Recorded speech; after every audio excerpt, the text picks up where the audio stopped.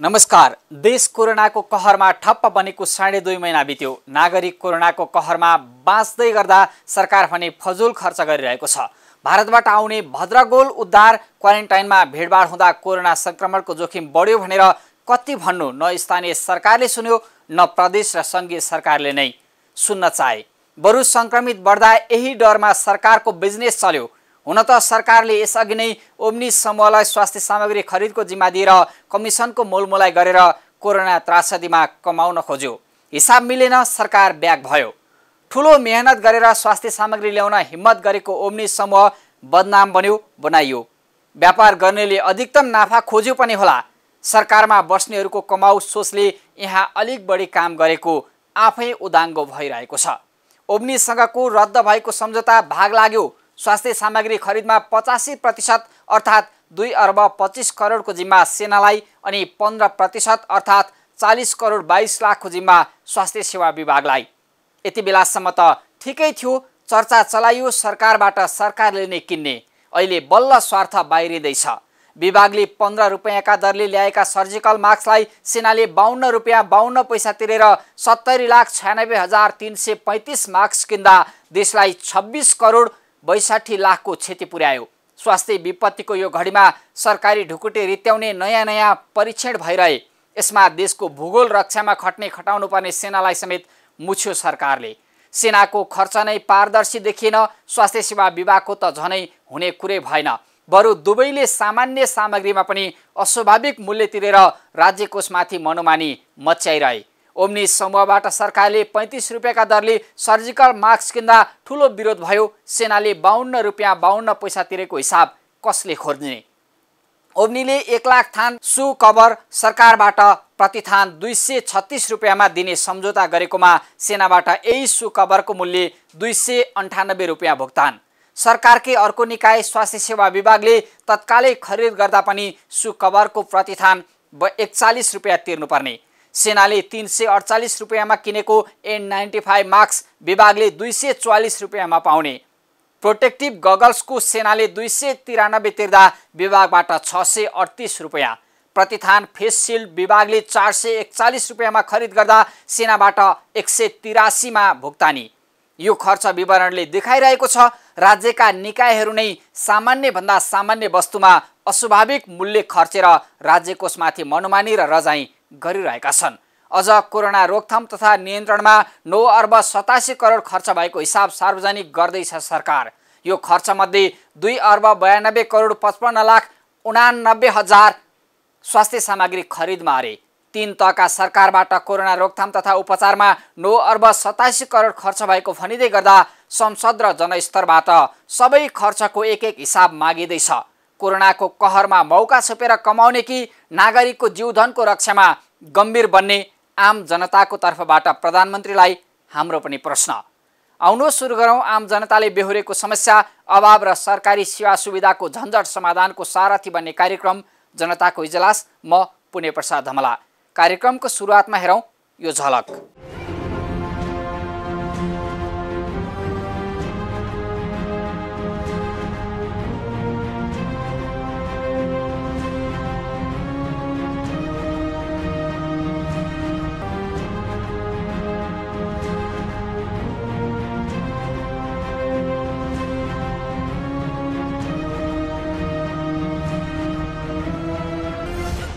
स्वागत छ कार्यक्रम जनताको इजलासमा। आज हामी कोरोना रोकथामका नाममा गरिएको लकडाउनमा लक भएका जनताको चासोबारे संसदमा प्रधानमन्त्रीमाथि सांसदहरूले तेर्साएको प्रश्न तथा सवाल जवाफ पारेको रिपोर्ट कोरोनाको कहरमा बढेको नदीजन्य पदार्थको तस्करी बारेको सामग्री आफू खुसी पसल खोलेका न्युरोड क्षेत्रका व्यवसायीमाथि प्रहरीले धरपकड गरेसँगै सुरु भएको सरकार विरोधी आन्दोलन बारेको स्थलगत सामग्री र कोरोना कहरमा आत्मबल बढाउन सङ्क्रमित तथा क्वारेन्टाइनमा बस्नेहरूले गरेको मनोरञ्जन बारेको सामग्रीसहित उपस्थित भएका छौँ प्राइम टाइम्स टेलिभिजनको स्टुडियोबाट लाइभ।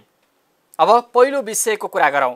कोरोना रोकथामका लागि लकडाउन तर निरन्तर बढ्दै सङ्क्रमित कोरोना जाँच सुस्त भएको क्वारेन्टाइन आइसोलेसन अस्तव्यस्त भएको तथा कोरोना रोकथामका नाममा फजुल खर्च भएको भन्दै जनस्तरमा चासो बढ्दै गर्दा प्रधानमन्त्री र संसदहरूबीच संसदमै सवाल जवाफ चलेको छ। संसदमा प्रधानमन्त्रीले गरेको सम्बोधन र सांसदले मागेको जवाब समेटेको यो रिपोर्ट अबका क्रममा। कोरोना भाइरस नियन्त्रणका लागि सरकारले प्रभावकारी भूमिका खेल्न नसकेको भन्दै चौतर्फी आलोचना भइरहेको छ। सरकारले कोरोना परीक्षणको दायरा नबढाएको विभिन्न जिल्लामा किटको अभावसँगै परीक्षण रोकिएको भन्दै बालोटारमै दबाब दिन आन्दोलन भयो। आन्दोलनकारीलाई प्रहरीले लाठी र पानीको फोहराले तितर बितर बनायो।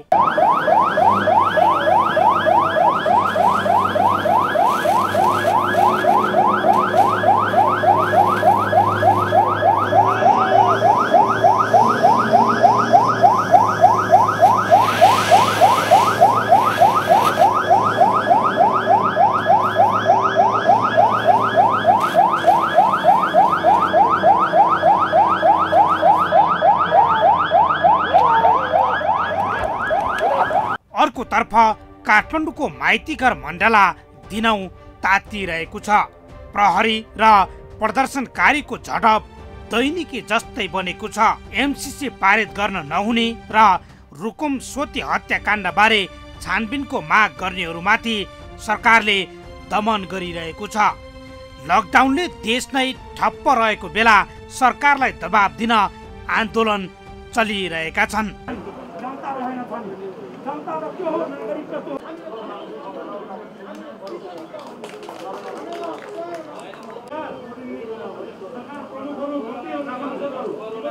बालुवाटार र माइतीघर मण्डला त उदाहरण मात्रै हुन्। विभिन्न जिल्लामा रहेका क्वारेन्टाइन हुन् या सीमा नाकामा अलपत्र परेका सर्वसाधारण सरकारको कामप्रति सन्तुष्ट छैनन्। विदेशमा अलपत्र नेपालीहरूले समेत भिडियो सन्देश दिँदै सामाजिक सञ्जालबाट आफूहरूलाई उद्धार गर्न निरन्तर रुवाबासी गरिरहँदा सरकार भने तयारी गर्दैछौ भन्दै बसिरहेको छ। यी सर्वसाधारणका आवाजलाई प्रतिनिधित्व गर्दै प्रतिनिधि सभा बैठकमा प्रधानमन्त्री केपी शर्मा ओलीसँग सवाल जवाब भएको छ। प्रधानमन्त्री ओलीमाथि प्रतिपक्ष दलका सांसदहरूले प्रश्नै प्रश्न तिर्स्याएका छन्। स्वास्थ्य सामग्री खरिददेखि पिसिआर मेसिन नचलेको सम्म प्रश्न सांसदहरूले उठाए। गृह मन्त्रालय अन्तर्गत चाहिँ विपद व्यवस्थापन प्राधिकरण छ। त्यो हुँदाहुँदा गृह मन्त्रालय अन्तर्गत नगरिकन रक्षा मन्त्रालय किन गरिएको छ र छाउनीमा त्यसको अफिस सिसिएमसीको अफिस किन राखिएको छ? पुरानै सरकारको काम निरन्तरता दिनुपर्ने भए के सन् उन्नाइस सय पचासको देशघाती सन्धि यथावत रहने र राणा शासन पुनः ल्याउनु पर्ने हो? अनि सरकार आफ्नो गल्ती आफ्नो कमजोरी ढाकछोप गर्नका निमित्त अर्कै रोगले मरेको हो भनेर चाहिँ त्यसरी पन्छाउन चाहन्छ। स्पष्ट जवाब चाहियो। सांसदहरूले क्वारेन्टाइनको मापदण्ड आफैले नपढेको नेपालीको रोग प्रतिरोधात्मक क्षमता बढी छ भन्ने प्रधानमन्त्रीको भनाइमाथि प्रश्न उठाउँदै स्वास्थ्य सामग्रीको सूची राखेर संसदमा खुल्ला छलफल गर्न चुनौती समेत दिए। यो सरकारले पिसिआर मेसिन पाँचवटा किन्यो पाँचवटै चल्दैन। क्वारेन्टाइनको मापदण्ड आफूले बनाएको मापदण्ड एकपल्ट पढ्नु भएको छ। हाम्रो रोग प्रतिरोधात्मक क्षमता बढी छ भनेर कसले भन्यो? नेपालमा मृत्यु हुनेको सङ्ख्या कम छ भन्ने उमेर समूहको आधारमा मृत्यु भएको विश्वव्यापी सङ्ख्यासँग दाँजेर हेर्नुभएको छ। भ्रष्टाचार स्वास्थ्य सामग्रीको सूची राखेर संसदमा छलफल गर्नका निम्ति म प्रधानमन्त्रीलाई खुला आह्वान गर्छु। तयार हुनुहुन्छ सम्मान्य प्रधानमन्त्रीज्यू? गृह मन्त्रालयमा विपद व्यवस्थापन प्राधिकरण हुँदा हुँदै रक्षा मन्त्रालय मातहत रहने गरी सेनालाई अघि सारेर सिसिएमसी गठनको औचित्य बारे समेत सांसदहरूको प्रश्न थियो। उनीहरूले जताततै भ्रष्टाचार मौलाएको भन्दै चिन्ता व्यक्त गरे। सरकारले कोभिड नाइन्टिन नियन्त्रणको लागि दस अरब खर्चको खर्च गर्यो भने मिडियामा बाहिर आइरहेको छ। त्यो त्यो रकम त्यति बढी रकम के केमा खर्च भयो? सम्मानित सदनलाई यो जानकारी कहिले हुन्छ? र जहाँसम्म भ्रष्टाचारको कुरा छ प्रधानमन्त्रीज्यू हजुरले सोचे जस्तो अवस्था छैन। भ्रष्टाचार चाहे स्वास्थ्य सामग्री खरिदको अहिले कोभिड नाइन्टिनको अवस्थाको बारेमा होस् अहिलेको सवालमा होस् अथवा अन्य विषय र सन्दर्भमा होस् माथिदेखि तलसम्म सबै तहमा भ्रष्टाचार। निर्मला हत्याकाण्डका दोषी पत्ता नलागेको र रुकुम पश्चिमको सोती घटनाबारे प्रधानमन्त्री ओली नबोलेको भन्दै सांसदहरूले प्रश्न सोधे प्रधानमन्त्रीज्यूले बोलिराख्दाखेरि रुकुम पश्चिमको नरसंहारको बारेमा केही थाहा पाउनु भएन कि त्यसको बारेमा प्रधानमन्त्रीज्यूबाट केही कुरा आएन। मृतक नवराज विश्वकर्मा लगायतका परिवारले कस्तो खालको न्याय पाउँछन्? निर्मला पन्तका दोषीलाई कहिले कारवाही हुन्छ अब कति वर्ष लाग्छ? प्रधानमन्त्री तथा मन्त्री परिषदको कार्यालय र राष्ट्रिय योजना आयोगको बजेटमाथि उठेका प्रश्नमा जवाब दिन संसदमा पुगेका प्रधानमन्त्री ओलीले प्रतिपक्षका धेरै प्रश्नको सामना गर्नु पर्यो। सुरुमा मन्त्रालयगत बजेटबारे जानकारी गराएका प्रधानमन्त्री ओलीलाई स्पष्टीकरण माग गर्दै प्रश्न सोधेका थिए। सांसदहरूको प्रश्नपछि प्रधानमन्त्री ओलीले यस्तो जवाब दिए। सेना राज्यको एउटा अङ्ग हो। राज्यका सम्पूर्ण अङ्गहरूलाई हामीले परिचालन गरेका छौँ अहिले। जो जति सम्बन्धित छ सेना एउटा सङ्गठित अनुशासित संस्था हो। र त्यो संस्थालाई हामीले यस्ता कठिन परिस्थितिहरूमा अप्ठ्याराहरूमा परिचालन गर्न पर्दछ। र अर्को केही केही मान्यजीहरूले उठाउनु भएको छ यो व्यावसायिक नबनाएर व्यापारिक बनाइयो भन्ने। यसभन्दा अगाडि सेनाले प्लेन पनि किनेको छ हतियार पनि किनेको छ हेलिकप्टर पनि किनेको छ अरू सामग्रीहरू किनेका छन् बुट किने होला कपडा किने होला अरू किने होला बिस्कुट किने होला थुप्रो चिज किने होला। त्यति बेर व्यापारिक भएन। अहिले सेना आफू उत्पादन गर्ने आफू वर्षक उत्पादन गर्दै जाने बाटोमा लागिराखेको छ। त्यसो गर्दा चाहिँ व्यावसायिक नभएर आफ्ना निम्ति चाहिने सामानहरू आफैले उत्पादन गर्ने अनि बाहिर खरिद प्रक्रिया र खरिद बिक्रीका कुराहरूमा नजाने कुरा भएपछि र केही केही उसलाई चाहिने कुराहरू जस्तो सेनाको अस्पताल छ अस्पताललाई सामग्री चाहिन्छ त्यो उसले छिटो छरितो ढङ्गले आफैले ल्याउँछ त्यो सामग्री भने सेनाले अस्पताल चलाउन पाउँछ कि पाउँदैन? प्रधानमन्त्री ओलीले अहिलेको सरकार राष्ट्र र स्वाभिमानका लागि निरन्तर लागिरहेको संसदमा जानकारी दिए। नेपालको भूमि फिर्ता ल्याउन सरकारले पहल गरिरहेको प्रधानमन्त्रीको भनाइ थियो। उनले कालापानीमा भारतीय पक्षले सेना राखेर कब्जा गरेको भन्दै फिर्ता ल्याउन कुटनीतिक पहल जारी राखेको संसदमा जानकारी गराए। सेना राखेर छुट्याएर लगिया छ सेना सेना नराखेसम्म त हाम्रो भोग चलनमा छँदै थियो। सेना राखेपछि हामी सेना भएका ठाउँमा पनि जान पाएनौँ त्योभन्दा उता पनि जान पाएनौँ र यसरी एक ढङ्गले भन्ने हो भने यो कब्जा हो। त्यसकारण यो उचित भएन भनेर हामी हाम्रो मित्र राष्ट्र भारतलाई भनिरहेका छौँ यो उचित भएन। यो हाम्रो भूमि हो तथ्य प्रमाणका आधारमा ऐतिहासिक तथ्यहरूका आधारमा त्यसकारण हामीलाई फिर्ता गर्नुपर्छ। र हामीले भनेका छौँ हामी कुटनीतिक वार्ताका माध्यमबाट यस समस्याको समाधान खोज्छौँ। समाधान भनेको हाम्रो भूमि फिर्ता हुनु पर्यो। यो सत्यले जित्छ हाम्रो विश्वास हो हामी फिर्ता लिन्छौँ। यो यो एउटा लिम्पियादुरा लिपुलेक र कालापानी सम्बन्धी भूक्षेत्रको विवाद छ। अरू कतिपय ठाउँहरूमा सीमा सम्बन्धी विवाद छन् सुस्तामा छ भने या अरू ठाउँमा छन् भने तिनीहरूको सम्बन्धमा यसरी सेना राखेर कब्जा गरिएको र अर्कै सिमाना भनेर एउटा नकली काली नदी भनेर खला खडा गरेर एउटा काली मन्दिर बनाएर एउटा तिरतिरे खोल्सी देखाएर एउटा सानो हाल देखाएर यसो गरेर कब्जा गरिएको यत्रो भूभाग अरू ठाउँमा त्यसरी छैन र हाम्रो नक्साभन्दा बाहिर परेको त्यस्तो भूभाग पनि छैन। यदि कुनै भूभाग तथ्यहरूले हाम्रो देखिने स्थिति छ भने त्यस सम्बन्धमा हामी वार्ता गर्छौँ कुरा गर्छौँ। अरू ठाउँहरूमा पनि हाम्रा वार्ताहरू कुराहरू चलिराखेका छन्। सुस्ताको सम्बन्धमा पनि वार्ता भइराखेका छ। प्रधानमन्त्री ओलीले सांसदहरूको प्रश्न त निर्धक्क भएर संसद बैठकमा दिए। तर साढे दुई महिना लामो लकडाउनले जनताको चुलो बल्न नै धौ भइसकेको छ। कोरोना नियन्त्रण तथा रोकथामका लागि गरिएको तयारीमा पनि सरकार कमजोर देखिन्छ। प्रदेश र स्थानीय सरकारले समेत सङ्घीय सरकारबाट सहयोग नपाएको गुनासो बढिरहँदा क्वारेन्टाइन र आइसोलेसनमा बसेका सर्वसाधारणको बसाइ र खानपिन निकै कष्टकर छ। हप्तौँसम्म कोरोना परीक्षणको रिपोर्ट कुरिरहेका सर्वसाधारण सरकार कहाँ छ भन्दै खोजिरहेका छन्? कोरोनाको कहरमा सिङ्गो देश लक भइरहँदा सरकार देश र नागरिकको समस्यामा गम्भीर भन्नुपर्छ भारतबाट आउनेहरूलाई व्यवस्थित गर्न सकेको भए मात्रै पनि सङ्क्रमण दर केही कम अवश्य हुने थियो। विगतमा स्वास्थ्य पूर्वाधारको व्यवस्थापनमा गम्भीर नदेखिएको सरकार कोरोना जाँच बढाएर सङ्क्रमण यकिन गर्न र अन्यमा सर्न सक्ने महामारी रोक्न बेलैमा गम्भीर बनोस्। फजुल खर्चको लिस्ट बढाउन मात्रै होइन। अब आजको अर्को विषय। कोरोनाको सङ्क्रमणसँगै गरिएको बन्दाबन्दीले देशका अधिकांश पसल व्यवसाय बन्द छन्। लकडाउन निरन्तर लम्बिँदा रोजीरोटी नै सङ्कटमा परेको भनेर कतिपय क्षेत्रमा गुनासो बढिरहँदा नदीजन्य पदार्थको दोहन गर्नेहरूलाई भने अवरोध नहुने मौका जोडेको छ। लकडाउनको मौका छोपेर पर्साका विभिन्न खोलामा जारी रहेको अवैध दोहनबारे वीरगञ्ज सहकर्मी आरोहण शाहले तयार पारेको यो रिपोर्ट हेरौँ। लकडाउनको मौका छोपी पर्साका विभिन्न खोलाबाट अनाधिकृत रूपमा गिट्टी बालुवा उत्खनन भइरहेको छ। स्थानीय तहदेखि सांसदसम्मको मिलोमतोमा नदीजन्य वस्तुको उत्खनन भइरहेको हो।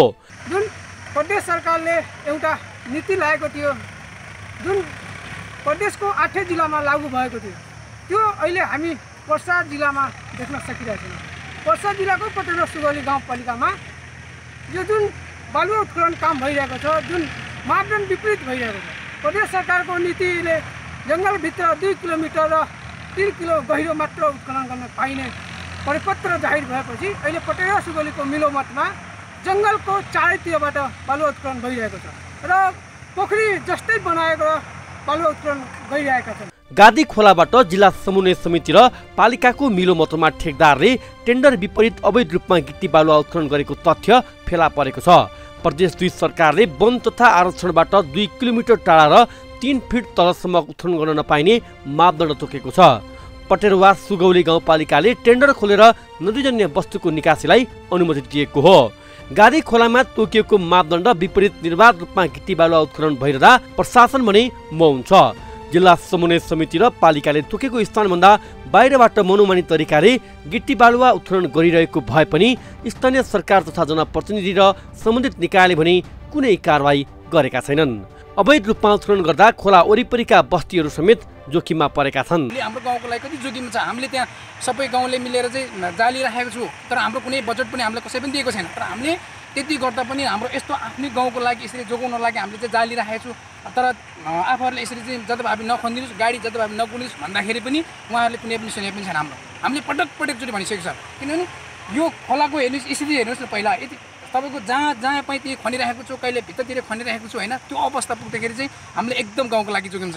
तर कुनै पनि उहाँहरूले चार कुदा राखेको छु हाम्रो कहिले विकास गरिदिन्छ तपाईँहरूलाई यस्तो विकास लोभ लाभ हामीले देखाएर पनि कुनै पनि विकास पनि गर्न सक्नु भएको छैन। त भल परे बाढ़ त पान काटवा में को घर ना सब उड़ गए तो वो हमारे आई रहे लोग तो कह बोरा चाउर दिले रहे और लाख लाख रुपया के लोग घरे दहा जाता धान चाउर गेहूँ टाटी बुधिया जाता। आ एगो बोरा चाउर एघार सौको दिए त लोग बस ओहिमे लोग यो त इन जेनरल कुराहरू काठ तस्करी भइरहेको छ राति राति एक बजीसम्म ट्र्याक्टर गइरहेको छ बाह्र बजीसम्म ट्र्याक्टर अहिले यहाँबाट जुन उठेको छ। त्यसलाई त धेरै क्षति छ नि सर। प्रत्येक वर्ष हाम्रो चाहिँ बाढी छिरिरहेको छ यो यो खास यो कुलो जस्तो थियो कि यो। इन जेनरल यसलाई खोल्न नपर्ने चाहिँ खोला हो। तर यहाँ के गरियो भन्दा अब केही पर्सेन्टेज अब गाउँपालिका अथवा उनीहरूलाई नै पर्सेन्ट चालिस लाख समथिङ कतिमा बिक्री भयो। योभन्दा अगाडि हामीले पनि समर्थन गरे समर्थन गऱ्यौँ। तर हामीलाई हामीलाई हाम्रो चाहिँ जुन यसले असर गरेको चिजलाई तपाईँले हेरिदिनु भयो भने भनेर चारवटा पोइन्टमा गरेका थियौँ। त्यो पनि गरिएन यिनीहरूले। होइन यो चाहिँ वडा अध्यक्ष वडा अध्यक्ष त मैले पचासपल्ट भने फोन गरेर आउनुहोस् भन्दाखेरि त्यसैमा वडा अध्यक्षसँग मेरो आफ्नै विवाद भइरहेको छ। पर्सामा रहेका छवटा नदीमध्ये तिनवटा नदीमा उत्खनन गर्ने ठेक्का लगाइएको हो। बाँकी तिनवटा नदीमा उत्खनन गर्न एक वर्ष बितिसक्दा पनि ठेक्का लाग्न सकेको छैन। वातावरणीय प्रभाव मूल्याङ्कन रिपोर्ट आउन ढिलाइ भएको र प्रदेश सरकारले रोक लगाएका कारण ती खोलाहरूको ठेक्का हुन सकेको छैन। ठेक्का नभएका खोलाहरूबाट अवैध उत्खनन भइरहेको छ भने ठेक्का भएका खोलाहरूबाट पनि नियम सम्झौता विपरीत उत्खनन भइरहेको छ। जिल्ला समन्वय समिति जिल्ला प्रशासन कार्य जिल्ला प्रहरी कार्य र स्थानीय पालिकाले अनुगमन गरेको र मापदण्डभित्र नरहेको पाउँदा समेत कुनै कारवाही प्रक्रिया अघि बढाएको छैन। जिल्ला समन्वय समितिले खोलामा एक्सकाभेटर्स लगाउन अनुमति दिएपछि अहिले दिनौ पाँच सयभन्दा बढी ट्र्याक्टरबाट नदीजन्य वस्तु डुवानी भइरहेको छ। उहाँ अब ठिकदारहरूको केही अलिकति बदमासीले गर्दा केही अब ठुलो बडा ठिकदारहरू भनौँ उहाँहरूको अब आफ्नो मनोमितोको कुरोमा गाडीहरू बढी लागेको कारण उहाँहरूसँग के गरी उहाँहरूले लगाउनु भयो त्यसमा पछि हामी चाहिँ गाउँपालिकाले अनुगमन गर्दाखेरि त्यत्रो गाडी भेटाइयो। भेटाइएको क्रममा हामी त्यति बेला नै उहाँहरूलाई रोक लगाइयो? यो तपाईँको केही अब प्रदेशसभा सदस्यज्यूहरू पनि छन्। उहाँहरूको अब नाम त अब के भनौँ? हजुरहरूले पनि बुझ्न सक्नुहुन्छ प्रदेशसभा सदस्यज्यूहरू हुनुहुन्छ उहाँहरूको केही साइड र ठिका पनि चलिरहेछन् उहाँहरूको पनि गाडी अनुगमनमा भेटाइयो। ठिकदार बाहेकको तर त्यही दिनदेखि हामीले एकदमै सशक्त रूपमा हामी त्यसलाई निगरानी गरेर त्यो सँगैसँगै ठिकदारको पनि गाडी हामीहरू त्यो दिनदेखि बन्द गरिएको अवस्था हो। उत्खनन कार्य रोक्न पटक पटक गुनासो गर्दा समेत सम्बन्धित निकाय मौन बसेको स्थानीयको आरोप छ। अवैध रूपमा उत्खनन हुँदा नदीको धार नै परिवर्तन भएर बस्ती जोखिममा परेका छन्। तर स्थानीयको गुनासो न ठेकदारले सुनेका छन् न त स्थानीय जनप्रतिनिधि नै जसका कारण अवैध उत्खननमा सबैको मिलोमतो रहेको स्थानीयले आरोप लगाइरहेका छन्। प्रसाबाट आरोहण शाहको रिपोर्ट। क्रसर तथा खानीजन्य पदार्थ विकास निर्माणमा नभई नहुने वस्तु तर मापदण्ड र विधि प्रक्रिया लत्याएर प्रकृति अनि मानव बस्तीलाई नै जोखिममा राख्ने गरी हुने गतिविधि रोकिनुपर्छ। वन जङ्गल डाँडापाखा अनि खोला नालामा हुने खनिज पदार्थको अवैध दोहन रोक्न सरकार गम्भीर बनोस् अनि स्थानीय तह तस्करका रमिते मात्रै नबनुन्। अब एकैछिन विश्राम विश्रामपछि न्युरोड क्षेत्रका व्यापारीमाथि प्रहरीले धरपकड गरेपछि सुरु भएको आन्दोलनबारेको स्थलगत रिपोर्ट र कोरोना कहरमा क्वारेन्टाइन र आइसोलेसनमा गरिएको मनोरञ्जनबारेको सामग्रीसहित उपस्थित हुनेछौँ। हामीसँगै रहनुहोला।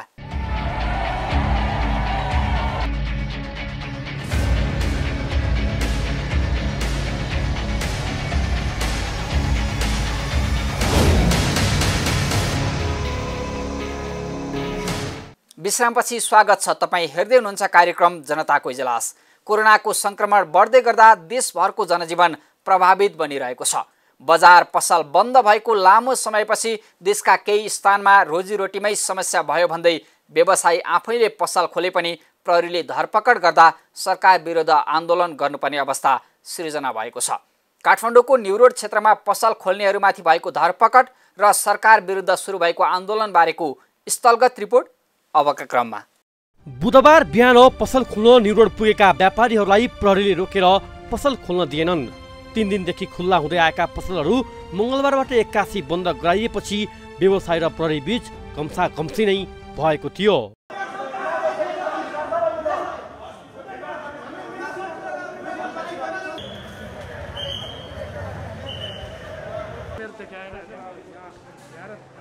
प्रहरीले स्थिति नियन्त्रणमा लिन लाठीचार्ज गरेपछि व्यवसायीहरू पसल बन्द गरेर छलफलमा जुटे।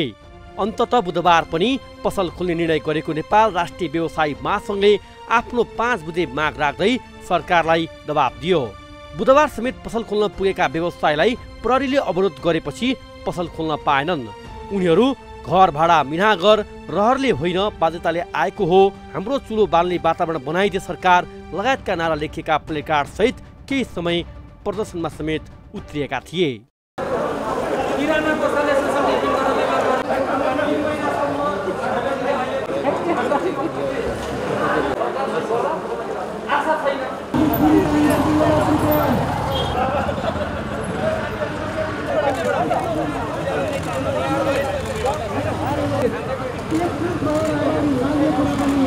हामी यति बेला यो न्युरोड क्षेत्रमा छौँ। केही दिन यता न्युरोड क्षेत्रका व्यवसायहरू निरन्तर रूपमा विरोधमा उत्रेका छन्।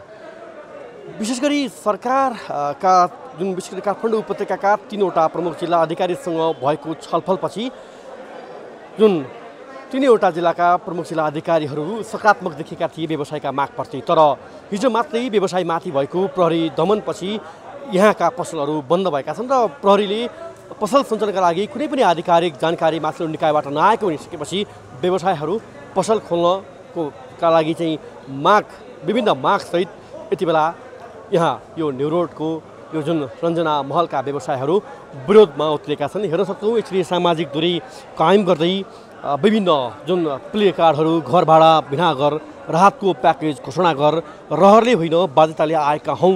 अठहत्तर दिनसम्म लकडाउन अवधिसम्म सरकारी तयारी खोइ भन्ने लगायतका विभिन्न प्लेकार्डसहित यति बेला यहाँका व्यापारीहरू यसरी सरकार विरुद्ध सडकमा उत्रिएका छन्। हामी केही आवाजहरू जोड्छौँ। जो कोरोनाबाट मर्न मर्ने पन्ध्रजना तर आत्महत्याबाट मर्ने तेह्र सयजना यो प्लेकार्ड लिएर तपाईँहरू आज विरोधमा उत्रिनु भएको छ। केही दिन यतादेखि निरोडका व्यवसायहरू निरन्तर विरोधमा उत्रिरहनु भएको छ। के हो? हामीले सरकारसँग व्यापार गर्ने वातावरण कोभिड नाइन्टिन संसारभरि नै तपाईँको छाएको छ यो महामारी हो।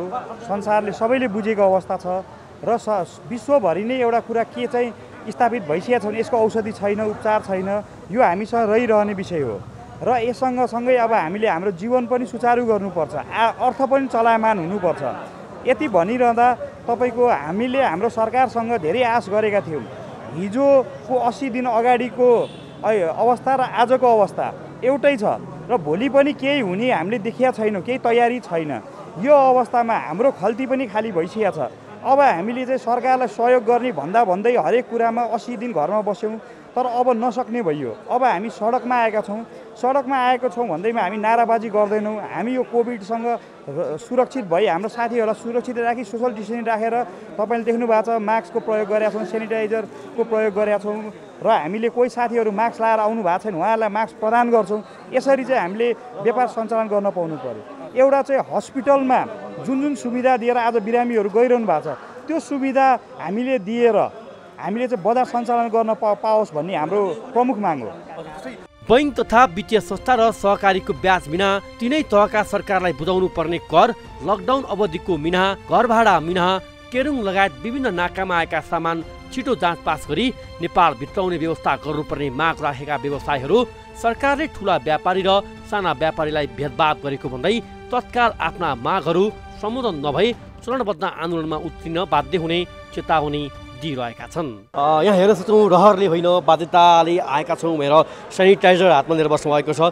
र अहिले जुन यसरी यो सडकमा चाहिँ यो विभिन्न नाराका चाहिँ प्लेकार्ड लिएर तपाईँहरू आउनुभएको छ जुन व्यवसाय खोल्न पाउनु पऱ्यो सञ्चालन गर्न पाउनु पऱ्यो अठहत्तर दिन भइसक्यो लकडाउनको एउटा राहतका चाहिँ केही प्याकेज दिनु पऱ्यो सरकारले अब विकल्प दिनु पऱ्यो भन्ने आवाजहरू यति बेला यहाँका व्यवसायको रहेको छ। मैले आवाज र प्रतिक्रियाहरू जोडिरहेको छु उहाँहरूको। के छ तपाईँहरू? दिनौँ दिनौँ झन् चाहिँ सडकमा आइरहनु भएको छ विरोध गरिरहनु भएको छ। हजुर हाम्रो यो बाध्यता हो तपाईँको किनभने अब सरकारले यत्रो पचहत्तर अस्सी दिनदेखि गरेको लकडाउन जसलाई प्रभावकारी रूपमा भएको पनि छैन। मान्छे आत्महत्या गरेर हजुरको बाह्र तेह्र सयजना मरिसकेका छन् भोकले भने रोगले पन्ध्रजना मात्रै मरेका छन्। त्यो कुरामा चाहिँ सरकारको पनि ध्यान जानु पर्यो प्रभावकारी रूपमा न पिसिआर टेस्ट भएको छ यहाँ। जम्मा दस अरब रुपियाँ खर्च गरेर पाँचवटा कोरोना आज तपाईँहरूको माग के हो? आज तपाईँहरू सडकमा हुनुहुन्छ अहिले सडकमा बसिरहनु भएको छ अहिले। आज आजको चाहिँ माग के हो? जस्तै हिजो केही दिन अगाडि तपाईँको छलफल भएको थियो। तिनै जिल्लाका प्रमुख जिल्ला अधिकारी सकारात्मक देखिएका थिए र उच्च समितिमा लाने प्रस्ताव बनेको थियो। र त्यसो तपाईँहरू पसल खोल्दै हुनुहुन्थ्यो। हिजो तपाईँहरूमाथि प्रति लाठीचार्ज भयो र आज तपाईँहरू फेरि चाहिँ विरोधमा उत्रिनु भएको छ। यो आज चाहिँ तपाईँहरूको चाहिँ महासङ्घ हिजो मात्र विज्ञप्ति निकालेको थियो विभिन्न पाँचवटा बुदाका चाहिँ मागसहित होइन? र यो छलफल हुँदा हुँदै पनि तपाईँहरू आउनु भएको छ अहिले विरोधमा। खास कारण के हो आज यो सरकारले हामीले जति कुरा राखे पनि नसुनेको कारणले चाहिँ हामी फेरि आज पनि बाध्य भएर यो कार्यक्रममा आउन बाध्य भएका हौँ। किनकि हामीले पसल खोल्नु छ। पसल खोले मात्रै हामीले सरकारलाई तिर्ने ट्याक्स हाम्रो घरपट्टिलाई दिने बाल हाम्रो स्टाफलाई दिने तलब लगायत गर्न सक्छौँ भने एउटा दिनदिनै श्रमजीवी मान्छेहरू पनि छन्। आज कमाएर बेलुका खाने र भोलि खाने मान्छेहरू उनीहरू अस्सी पचासी दिनदेखि के खाएर बसेका छन्? सरकारले दस किलो चामल दिएको छ दसको पाँचदेखि दसजनाको परिवार छ। के अक्षता टिका लाउने हो? एउटा अक्षता टिका लाउने हो? उसले खानु पर्दैन। सत्तामा बस्नेहरूले खाने जस्तो मेजमानी त्यो जनताले खानु पाएको छ कि छैन भन्ने कुरो देख्नु पर्दैन। राजाको उखान जस्तो भयो हजुर। दुध र भात नि मेरो जनताले खा छैन भनेको जस्तो भयो कि भएन यो? जनतालाई हेरेको छ कहिले? हेर्न सक्छौँ यो सरकारी तयारी खै भन्ने प्लेटसहित एकजना यहाँ उभिनु भएको छ। हजुर सडकमै आउनु पर्यो आन्दोलन गर्नलाई निरन्तर संवादमा हुनुहुन्छ तपाईँहरू होइन?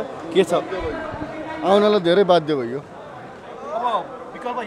विकल्प यही हामी यहाँ जो चाहिँ व्यवसायहरूको चाहिँ यो आवाज यो आक्रोश जुन सरकारले चाहिँ व्यवसायका लागि जुन कुनै पनि राहतका प्याकेज घोषणा नगरेको र व्यवसायका समस्यामा सरकार गम्भीर नभएको भन्ने आवाजहरू आम व्यवसायको छ। म एकजना व्यवसायसँग अझै कुराकानी गर्छु। हजुर यो जुन राहतको प्याकेज घोषणा गर भनेर तपाईँहरू निरन्तर केही दिन यता विरोधमा हुनुहुन्छ छलफल भइरहेको छ पसल खोल्नुहुन्छ फेरि प्रहरीले बन्द गर्छ यो खालको चाहिँ निरन्तर यो लुकाछिपी जस्तो भइरहेको छ होइन? खास के हो तपाईँहरूको चाहिँ आवाज?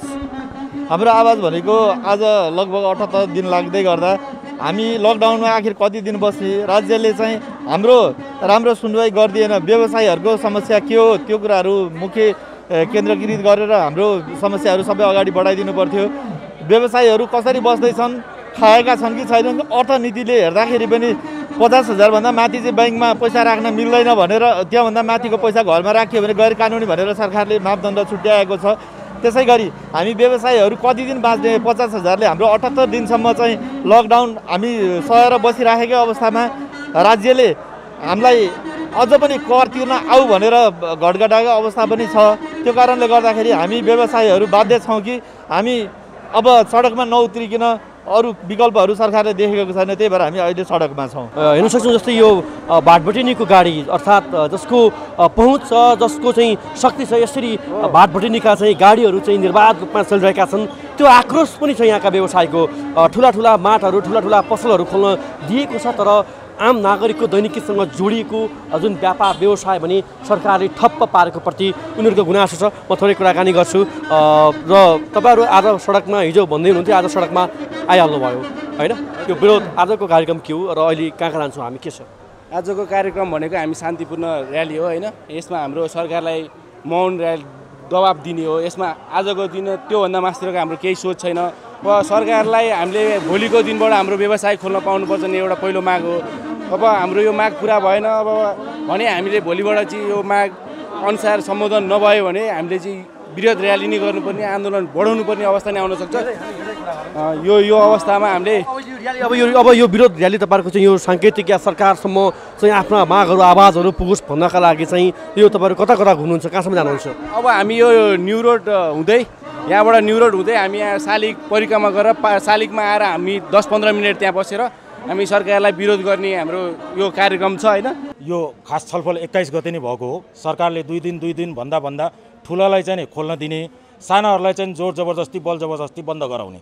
त्यही भएर हामीहरू चाहिँ नि स्वसफूर्त अहिले राष्ट्रिय व्यापार सङ्घ नेपाल व्यापार सङ्घ त्यसपछि तपाईँको चाहिँ नि रञ्जना ट्रेड सेन्टरका चाहिँ नि यो हाम्रो एरियाको निरोड एरियाभरिको चाहिँ नि अहिले चाहिँ नि जस्ट सरकारलाई चाहिँ नि एउटा चाहिँ नि हामी चाहिँ नि सचेतना मात्र गराएको छौँ कि हाम्रो यस्तो पीडामा छौँ साङ्केतिक प्रयत्न छ यो अब भोलि के गर्नुहुन्छ तपाईँहरू भोलि पसल खोल्नुहुन्छ या भोलि तपाईँहरूको थप कार्यक्रम के छ अब माग त हाम्रो चाहिँ नि खोलेरै जानु पर्यो कोरोनाले मर्ने मान्छेहरू चाहिँ नि जम्मा पन्ध्रजना छन् आत्महत्याले तेह्र सयजना मान्छे चाहिँ नि सुसाइड भइसक्यो।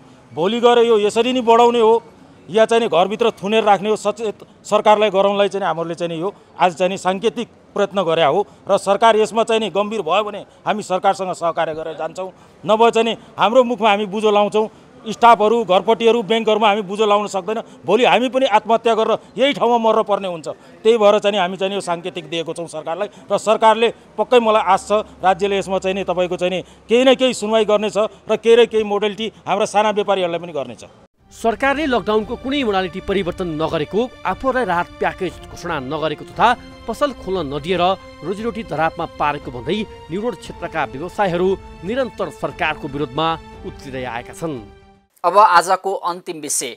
सरकारले कोरोना परीक्षणको दायरा बढाउन नसकेको भन्दै चौतर्फी विरोध र आलोचना भइरहँदा जाँच घटाउने र उपचाररत बिरामीलाई समेत सङ्क्रमणमुक्त भए नभएको यकिन नभई घर पठाउने काम भइरहेको छ। कोरोनाले सिङ्गो देशलाई त्रसित बनाउँदै गर्दा क्वारेन्टाइन र आइसोलेसनमा बस्नेहरू भने आत्मबल बढाउन नाचगानमा रमाइरहेका छन्। आखिर के के गर्दैछन् त क्वारेन्टाइन र आइसोलेसनमा बस्नेहरू? सामाजिक सञ्जालमा भेटिएका दृश्यसहितको यो रिपोर्ट अबका क्रममा नेपालमा दैनिक कोरोना सङ्क्रमितको सङ्ख्या बढ्दैछ। विभिन्न जिल्लामा बनाइएका क्वारेन्टाइन मात्रै होइन आइसोलेसनमा समेत भिडभाड बढेको छ। क्वारेन्टाइनमा भिडभाड देखिन्छ। यति बेला सीमा नाकाबाट प्रवेश गरेका नेपालीहरूको क्वारेन्टाइन बसाई पट्यार लाग्दो मात्रै छैन। कतिपय ठाउँमा त क्वारेन्टाइन र आइसोलेसनबाटै मानिसहरू भागिरहेका छन्। उपचाररत सङ्क्रमित भाग्दा थप सङ्क्रमणको जोखिम बढाएको छ। आज कोरोना जितिसकेका तथा क्वारेन्टाइन बसेर घर फर्किएका विभिन्न दृश्यहरू देखाउँदैछौँ। जो दृश्यहरू यति बेला क्वारेन्टाइन बसेका र आइसोलेसनमा उपचाररत रहेका व्यक्तिहरूले पनि पट्यार लाग्दो बसाइलाई सहज बनाउनेछ। झापामा सुरक्षाकर्मी सहित क्वारेन्टाइनमा भएको नाचगानको दृश्य हेरौँ। क्वारेन्टाइन बसाई निकै कष्टकर छ।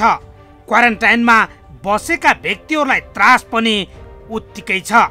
स्वाब सङ्कलन गरी पठाइएको रिपोर्ट कस्तो आउने हो भन्ने चिन्ता पनि रहन्छ। त्यही चिन्ता बिर्साउन र आत्मबल बढाउन झापामा सुरक्षाकर्मी सहित गरिएको नाचगान पनि सामाजिक सञ्जालमा प्राथमिकता पाएको छ जो निकै सकारात्मक छ।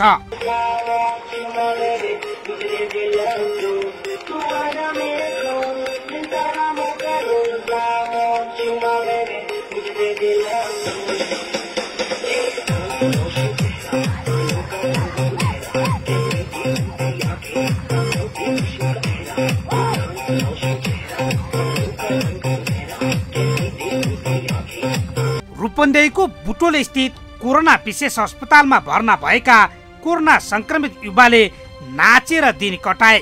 उनी उपचारपछि निको भएर यति बेला घर फर्किसकेका छन्। जिल्लाको कोटिमाई गाउँपालिकाका कोरोना संक्रमित युवा आइसोलेसनमा नाचेको भिडियोले सकारात्मक सन्देश दिइरहेको छ।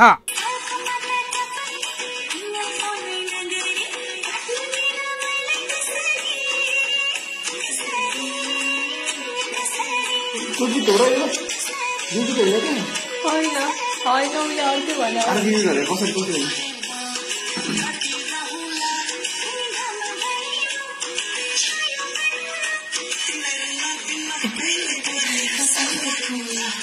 त्यस्तै अर्को सामाजिक सञ्जालमा भेटिएको दृश्य छ क्वारेन्टाइनमा भएको नाचगान। सुरक्षाकर्मी तथा स्वास्थ्यकर्मी समेत गीत बजाएर नाचिरहेका छन्। यसले पनि शारीरिक स्वास्थ्यका लागि निकै फाइदा हुन्छ।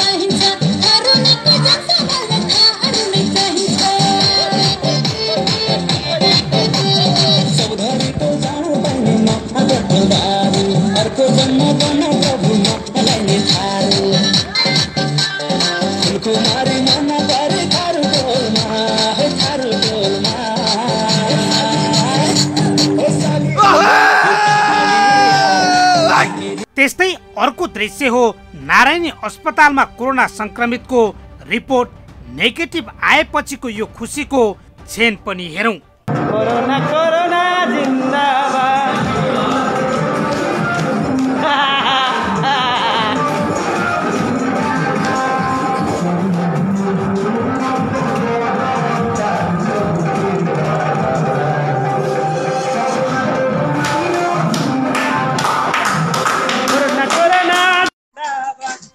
यी दृश्य हामीले यति बेला क्वारेन्टाइनमा रहेका र आइसोलेसनमा रहेकाहरूका लागि पट्यार लाग्दो समयलाई सहज बनाउन र स्वस्थ रहन अप्नाइने उपाय तपाईँहरूले पनि अप्नाउन सक्नुहुनेछ भन्नका लागि प्रसारण गरेका छौँ। कोरोना संक्रमण देखिए पनि आत्मबल बलियो बनाउन र कोरोनालाई जित्नका लागि कठिन र पट्यार लाग्दो बसाइलाई सहज बनाउन सक्नुहुनेछ। सजग बनाऊ कोरोनाबाट बचौँ। कोरोनाका सङ्क्रमितसँगै बढ्दै गरेको त्रास कम गर्न हामीले यो सामग्री प्रस्तुत गरेका हौँ। सकभर घरमै बस्नुहोस् कहीँ कतै निस्कनै परेमा सामाजिक दूरीसहितको स्वास्थ्य सावधानी पुरा गरेर अरूलाई पनि बचाउँ आफू पनि बचाउँ। यी र यस्ता कुनै पनि पीडा व्यथा समस्या अनि सरकारी निकायबाट दिने सेवा प्रवाहमा भए गरेका कमजोरीबारे कार्यक्रम जनताको इजलास मार्फत निरन्तर खबरदारी गरिरहनेछौँ। तपाईँ हामीलाई आफूले बेहोरेका समस्या र गुनासो स्क्रिनमा देखाइएको टेलिफोन नम्बर वा इमेल ठेगानामा टिपाएर वा पठाएर समस्या समाधानको साझा आवाज बन्न सक्नुहुनेछ। हवस् त आजका लागि जनताको इजलास यति नै। तपाईँ हामीलाई युट्युब मार्फत समेत हेर्न र फलो गर्न सक्नुहुनेछ। फरक विषयवस्तु र तपाईँहरूकै गुनासोसहित अर्को कार्यक्रममा पुनः उपस्थित हुने नै छौँ। प्राइम टाइम्स टेलिभिजन हेर्दै रहनुहोला। नमस्कार।